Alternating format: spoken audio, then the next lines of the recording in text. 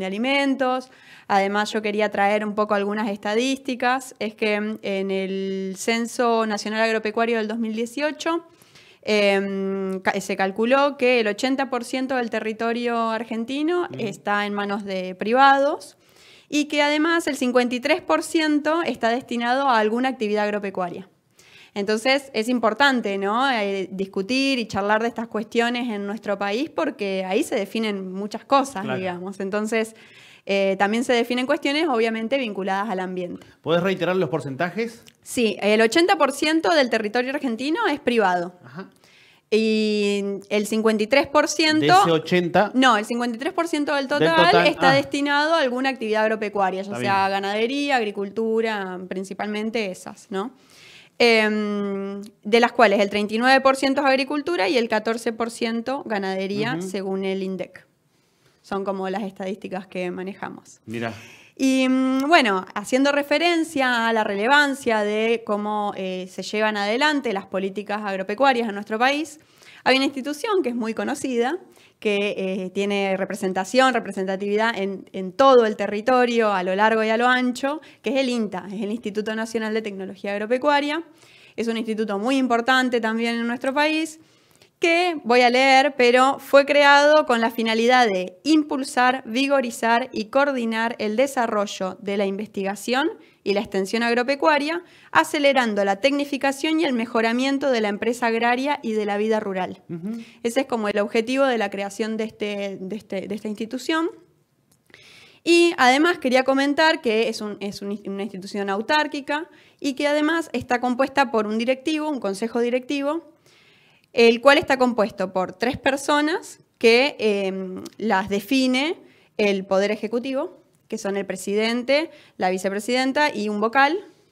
Em, y además, este Consejo Directivo está compuesto por tres representantes del Poder Ejecutivo Nacional, perdón, y además por em, cinco miembros de entidades agropecuarias y dos de universidades nacionales. Entonces está compuesto como por eh, una rama más eh, vinculada a lo, político nacional, alineado a eso, pero además hay eh, representación de universidades nacionales y de distintas eh, federaciones agrarias o de distintas organizaciones. Que están directamente vinculadas con el trabajo que lleva adelante el INTA. Y en esta cuestión, ¿cuál es la situación hoy del INTA? Bueno, em, lo que quería comentar es que estos últimos días eh, se habló mucho del INTA y de su función porque em, muchos trabajadores del INTA empezaron a eh, denunciar o a mencionar eh, cierta preocupación porque em, desde, eh, desde el Consejo Directivo se empezó a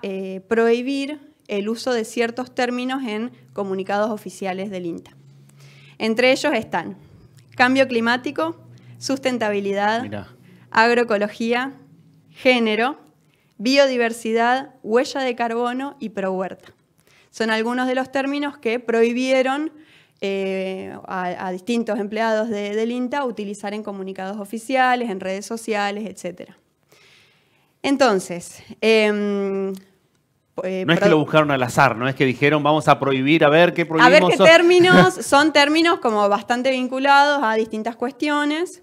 Eh, bueno, cambio climático, huella de carbono, ¿no? También cuestiones de género, el INTA, ya que una de, una de, uno de los motivos de su creación es eh, fomentar y trabajar sobre la vida rural. Entonces el INTA también trabaja sobre cuestiones de género. Mm. Eh, entonces, bueno, género ya no se puede mencionar en comunicados oficiales. Biodiversidad, sustentabilidad, agroecología. Y también pro huerta. Entonces, em, también el Pro Huerta es un programa nacional que últimamente también se mencionó mucho porque eh, por un fuerte desfinanciamiento que está sufriendo desde enero de este año aproximadamente. Eh, bueno, y producto de esto, la Asociación del Personal del, INTA eh, sacó un comunicado, este, este, es el sindicato, digamos, del INTA, sacó un comunicado expresando su preocupación, pidiendo explicaciones al, al Consejo Directivo y no obtuvieron respuestas. Y además, otra de las, de las cosas que, que, denuncian es la recepción de correos con propaganda política a, eh, desde la Subsecretaría de Vocería y Comunicación de Gobierno. Entonces, están ocurriendo distintas cuestiones dentro de esta institución que me parece importante que estemos alertas, que sepamos qué está sucediendo y que sepamos también la importancia de eh, una institución del Estado como lo es el INTA en, eh, en, la discusión de cómo se lleva adelante la agricultura nacional. Exactamente, y en el caso del Pro Huerta, muy vinculado con la, la promoción de huertas concretamente, ¿no? Bueno, exactamente. Tanto el Pro Huerta como Cambio Rural son dos programas nacionales que eh, llevaban más de 30 años eh, ininterrumpidos de ejecución de estos programas. La verdad es que eh, surgieron como una respuesta a una, gran crisis en nuestro país y desde entonces impulsan la, producción de alimentos a escala de, patio, digamos, o, de, de, familias productoras.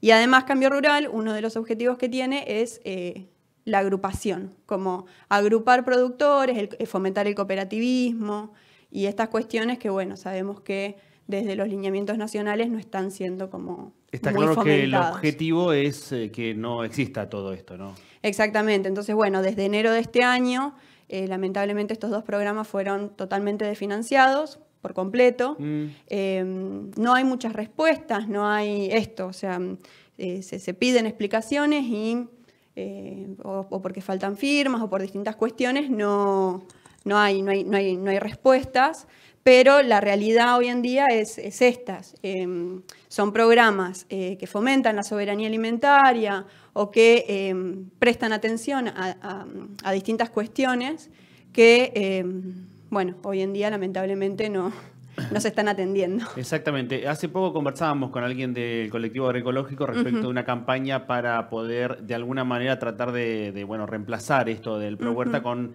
la compra de semillas y entrega de, semillas. Exactamente. Yo eh, quería comentar también y hacer, hacer hincapié y énfasis en esta campaña, porque bueno, eh, frente a, esta ausencia del Estado tan lamentable, el colectivo agroecológico eh, comenzó hace una semana ya una campaña, ahí podemos ver el, flyer en, la pantalla, donde eh, quien quiera, quien pueda, puede hacer un aporte, tanto en efectivo en una, en una urna que está en la feria agroecológica o em, con una transferencia al alias que, figura en pantalla, que es... Eh, pera.caldo.arroz a nombre de la Asociación Cooperadora de la Estación Experimental.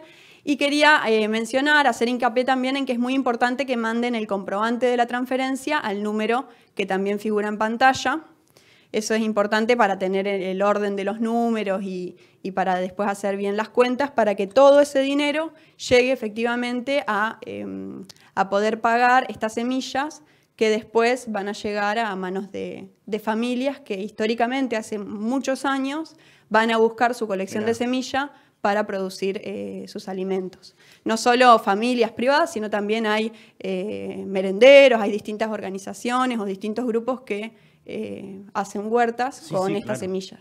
Sí, sí, conocemos aquí en varios barrios que hay, bueno, la Huerta Fátima, la Huerta del 30 de marzo que tiene la gente de la, de la UTEP, hay varios espacios en donde... Y, ellos son los que hacen uso de estas semillas que repartían dentro de Huerta.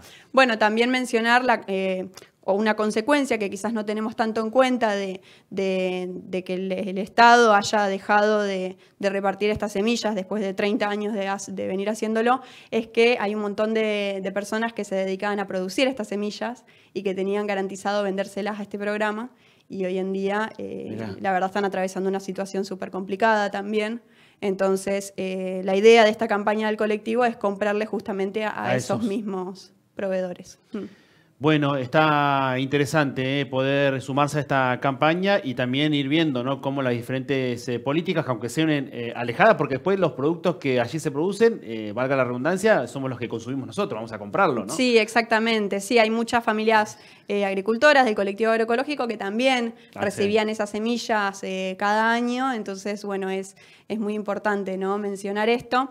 Y antes de, terminar, quería cerrar con una, con una frase que a mí me gusta mucho. Es una, una, frase de Pablo Neruda que me parece que está bueno recordarla eh, cuando tenemos estos casos de censura, como mencionábamos del INTA, que prohibió estos términos tan, tan importantes. Y es que mm, esta frase es bastante conocida, que es que podrán cortar todas las flores, pero no podrán detener la primavera. Entonces, bueno, eh, esta campaña del colectivo forma un poco parte de, eso también. Buenísimo, te agradecemos Delphi por esta columna y te esperamos dentro de unos 15 días. Esperemos que sean muchos y muchas los que se sumen a esta campaña. Muchas gracias. Bueno, gracias. Hacemos un corte en el encuentro informativo. En un ratito seguimos con más.